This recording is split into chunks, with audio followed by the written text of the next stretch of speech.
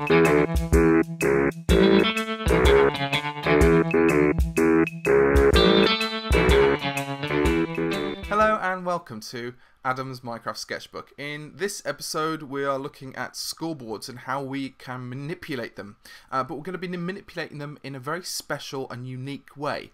Hopefully unique. Probably won't be after I've, uh, I've, I've given it away. But anyway, uh, let's uh, let's have a little go with it and, and see what happens. It's in very early stages, and um, and I'm going to be doing some unique stuff with it. So Django, at the moment we've got two players. We're playing on a server. Uh, Django, if you just want to um, log yourself out and go into the special plays that we uh, we talked about earlier. Uh, what I want Django to do is I want you to increase. We've got a couple of scoreboards. Let me show you the scoreboard first. So we've got a scoreboard set up. I've already set that for myself, and it's called test var, and it's, so it's test. And we're going to display that uh, if we look here on the sidebar. So Django, could you give me uh, one one score? Okay, brilliant. And now keep going up. Keep sending my score up. Fantastic. Now, uh, let's just check. Django's not in the server, so how, how is he controlling my score? Okay, um, very mysterious. Uh, so, let, Django, let's, let's open this door over here. Do you remember which one that was? I think that was that one. Okay, the door opened. Okay, and that's because we've got a little command block down here saying it tests for a minimum of 100 and a kind of maximum of 100. And if if it is, then we open that door which is fantastic. Uh, also, we can hear a little piano playing over here. Let's go over to this piano here. I've got, uh, I'm setting up uh, a piano system over here as well.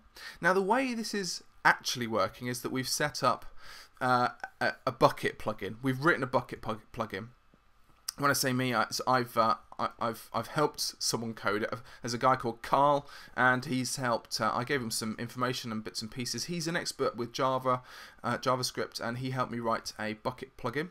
Uh, and when I say help me, he kind of wrote it himself. Uh, but uh, I, I, kind of was there saying I want it to do this and I want it to do that. but um, yeah, Carl was very generous. He did that, and we we got a kind of Bukkit plugin. It's based on a JSON API, and it means that we can change the scoreboards in game we can actually set up a scoreboard and we can kind of change it. So we need to go here and we need to set one up. Uh, but uh, what the Bukkit plugin will it will look for test var and it will change the test var for whoever's on the game. Okay, so it needs to be players or you can even have it as individual players too. Uh, why is this interesting? Well, we can obviously uh, have a web uh, use a web interface really to do to make changes in a world. Uh, now that's interesting, I think, because say you're a Twitch user and you're running an adventure map, you could have your audience actually control some of your environment. All right, uh, either by uh, you know opening doors for you, or kind of or voting, in, in fact, or spamming that button so one of these doors opens or not. Okay, so one of these you know, we could have a dungeon. This is what I'm making a little dungeon over here for. And basically, um, what will happen is underneath here, we're going to have different variables. So we're going to have door 2, door 3, door 4. And if the audience spams the button and reaches a certain target, then what will happen is uh, each of those doors will open. So it really depends on your audience. And hopefully it, it will encourage audience participation that's a kind of a Twitch map thing. And we, we I'm going to be inviting Dragnos into this world uh, early this week, and we'll be ha hopefully having a little play with all these kind of tools there, and hopefully we'll be you know coming up with some really interesting ideas. My other idea that I'm playing with is a musical instruments. Um, and uh, I've got I've set up uh, the different musical instruments within Minecraft within the note block set section. We've got a kind of I think this is a snare, uh, and this is sticks, and um, what's this one? If we just have a look, there's a piano. This is the piano, and there's a bass and stuff. So I, am setting up uh, a sequence. So basically, if, Jang, if you could press a 100, set the um, set the thing for 100. I think we need to set it for a thousand first, and then and then set it for 100.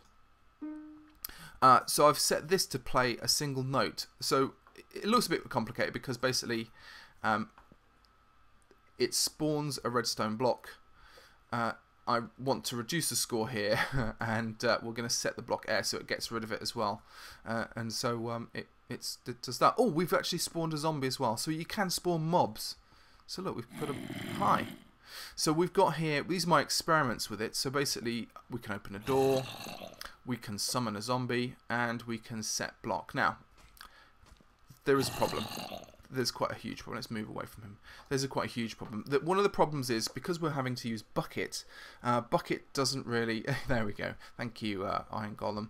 Bukkit doesn't really like um, summon. Summon is sort of broken, and also set block is kind of broken. So I've had to cheat and use uh, two more Bukkit plugins to fix summon and to fix uh, set block and they're not perfect at the moment but in time what I'm hoping to do is you know and especially when we get to 1.8 with the clone and the fill tools and all those extra tools that we've got going on I'm hoping that all those things will work within the Bukkit server and people have got will get a hang of it by then.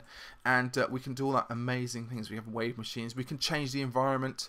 We can bring things in. We can make spawn castles and audiences can do that uh, the piano over here is what I want to do. I want to kind of create someone who doesn't really play Minecraft, but who could maybe do a performance, maybe actually play the piano or play musical instruments within Minecraft, or maybe even have a jam. So, kind of, you know, you can have lots of people on different websites all playing different particular different instruments and kind of then all watching a Twitch stream and playing a bit of music live. That's kind of what I'm interested in. I'm interested in that kind of collaborative online thing that maybe not even people who play Minecraft can actually partake in as well.